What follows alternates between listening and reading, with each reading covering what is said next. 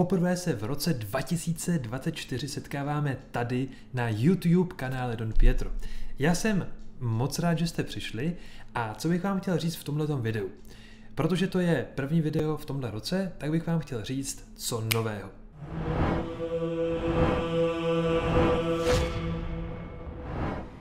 Jak asi mnozí víte, já jsem knězem, který studuje v Římě Mám za sebou licenciátní studia, kterým jsem věnoval dva roky a právě tento třetí rok, který tady můžu prožívat v Římě, je časem, kdy začínám studovat doktorát.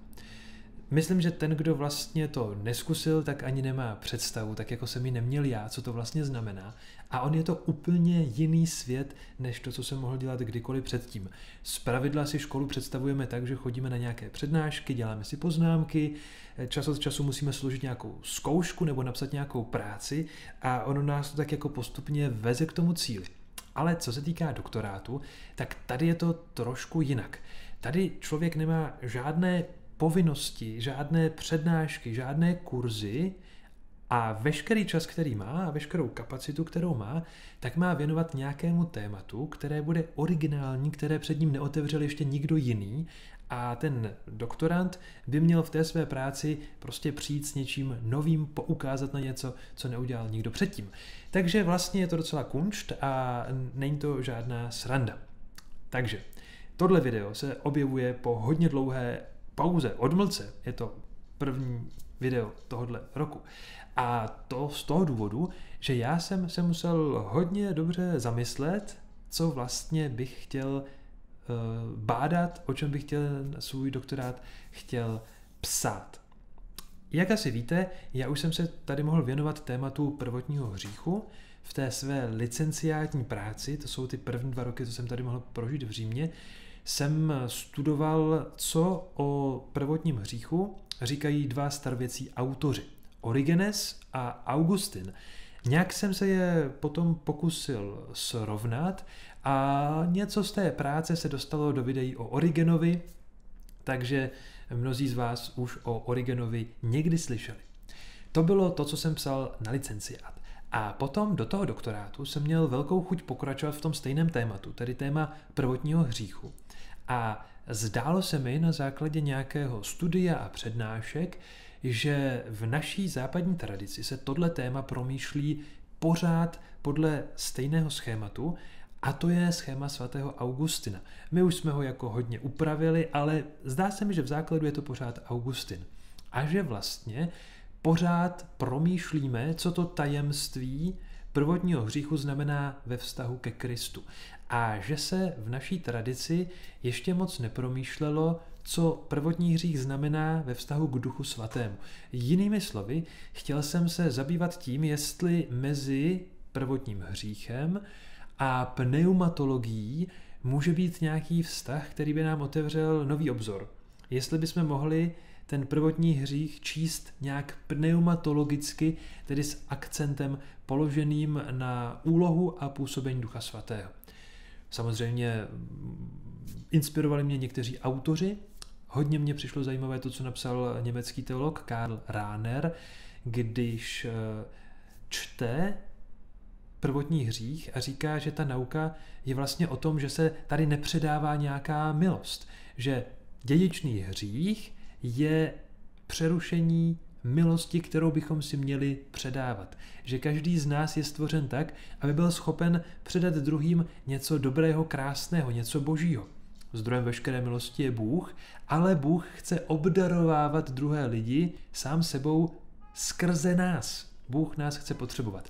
No a tohle se právě pokazilo v ráji a na to upozornil Karl Rahner. Je to jakoby dost eh, originální, a tak jako jsem něco našel u svatého Bazila, něco tady u, u Ránera a tak jsem si to jako poskládal a říkal jsem si, já zkusím vzít tu nauku, tak jak se jako vyvíjela za těch 2000 let křesťanství, podívám se na biblické texty a právě budu hledat, kde se o pneumatologii nemluví, ale mohlo by se mluvit.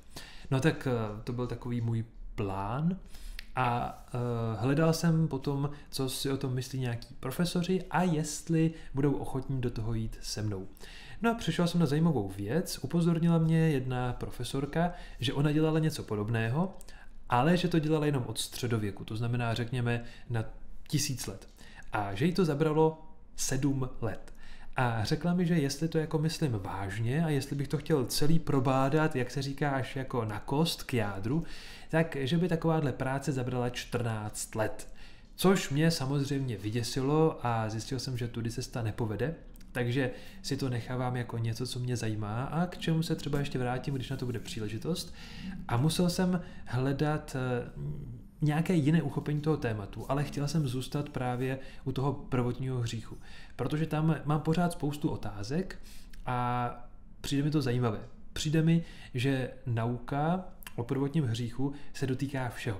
Teologie stvoření, teologie vykoupení, eh, dotýká se taky eschatologie, protože to je nějaký tajemství, který se naplňuje v eschatonu. Prostě mně se zdá, že se tam všechno protíná a tím mi to přijde zajímavé.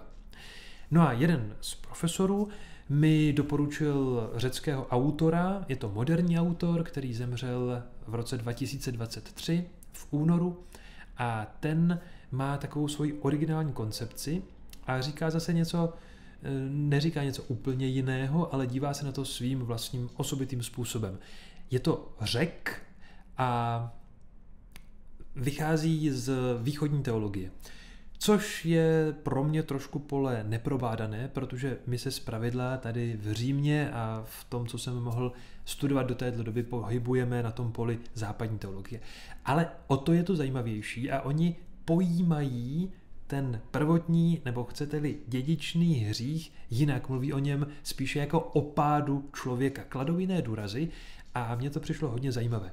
Takže jsme si, tak říkajíc, plácli a já jsem začal ten doktorát Eh, stavět na tomhletom autorovi. Řekněme, že tento autor řecký eh, jmenuje se Ioannis Ziziulas, je pro mě jakousi cestou k tomu tajemství, kterému bych rád porozuměl. A eh, když jsem se ptal toho profesora, jaký je první krok, tak on mi řekl, že to je jednoduché, ať si přečtu všechno, co kdy ten Ziziulas napsal. No a tomu se teď teďka věnuju už asi půl roku. On napsal mnoho článků, takže nenapsal žádné velké monografie, ale dneska už ty články jsou vydané v knížkách, takže tím se teďka bavím, že se postupně dostávám do jeho světa. A je to něco fascinujícího, je to něco, co je pro mě hodně nové, hodně originální a samozřejmě Rád bych se o leda co z toho s vámi podělil, ale víte, ono si to nejdřív musí sednout. Takže nebudeme nikam spěchat, držte mi palce, budu rád, když se za mě pomodlíte, abych tenhle ten úkol, který teďka tady mám, protože hm, víte, ona to není dovolená, ten doktorát, ono je to vlastně docela náročný, tak eh, aby to s boží pomocí dopadlo a to, o co bych se s váma rád podělil v dalších videích, tak eh, to je ten seriál Teologie do kapsy, kde čas od času zmíním nějaký text, na který jsem tady narazil a přijde mi, že stojí za to, abyste ho taky potkali, aby taky třeba nějakým způsobem obohatilo váš duchovní život. Takže tohle je to, co je před námi. Když něco napíšete dolů pod tohle video do komentářů, já budu jedině rád. Když dáte like k tomuhle videu, tak to budu taky rád. A když dáte odběr tohohle kanálu, no tak je šance, že se tady třeba ještě někdy uvidíme. Mějte se moc hezky, buďte zdraví a hlavně buďte s Pánem Bohem.